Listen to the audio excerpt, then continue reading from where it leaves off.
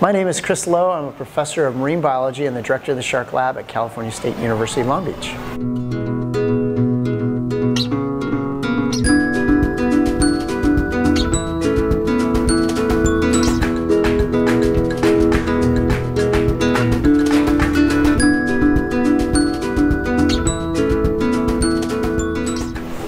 Grew up on a small island off the East Coast, and there was nothing to do but go fishing, swimming, diving, and I loved to fish. And one day I remember catching a shark, and it was different from all the other fish I'd caught.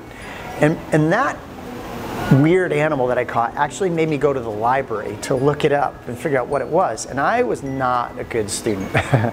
so the fact that it made me go to the library and I found a book about sharks, I started looking through it and I was amazed. There were these cool animals and I started reading more.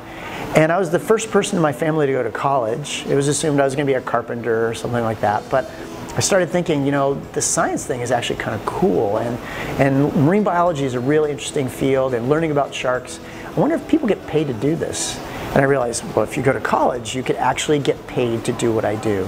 And that set me on this path. And I really can't see myself doing anything other than what I'm doing. It was almost like I was made to do this. The Shark Lab's been around since 1966, and our primary mission has been studying the behavior and ecology of sharks. But over that time, the Shark Lab's morphed into more than just that. We study game fish, we study rays, we study a wide variety of species, but the priority is still focused around studying the behavior and ecology and now the physiology of these animals. So the whole goal of that is to better conserve what we have in our oceans and more importantly, train the next generation so that they can keep that conservation legacy going.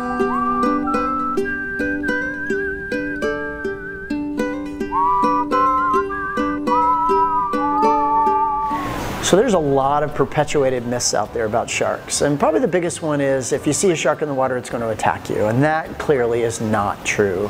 In fact, Southern California is a great example of how that's not true. Our shark populations are coming back due to better protection and fisheries management. And we have millions of people that use the ocean for a wide variety of recreational activities every day, year round. And they're in and amongst those sharks. And yet, people are not bitten. So that tells us that you know these sharks aren't interested in people as being part of their menu.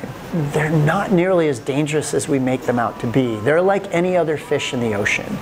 Now, when we talk about fish, people think of Nemo and they think of their favorite goldfish, and they, they think of that fish as being something important, a loving pet, you know, something that they like to eat, they, they cherish. We need to get people thinking about sharks the same way. So when I say the word shark, the first thing that shouldn't come to mind is dangerous, fearful, bloodthirsty. We need to change that perspective. So I think that's the one thing that I think people misunderstand about sharks. And the more they learn about them, the more they'll begin to understand that they are kind of like Nemo and they are kind of like their favorite goldfish. They're just doing their thing in the ocean. So for me, it's not just about studying the biology of these animals. I need to build the next generation of tools. And I can't do that. I'm just a lowly biologist. But I know there are people out there who can.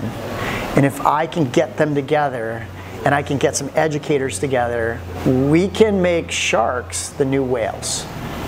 The type of animal everybody loves, everybody wants to see, everybody understands now, and everybody wants to protect.